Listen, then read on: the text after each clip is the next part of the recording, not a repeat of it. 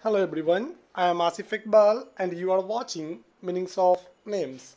In this video, we are going to know the meaning of feet in Arabic. The meaning of feet in Arabic is أقدام أقدام. The meaning of feet in Arabic is أقدام. Thanks for watching my video and don't forget to subscribe my channel for watching more videos.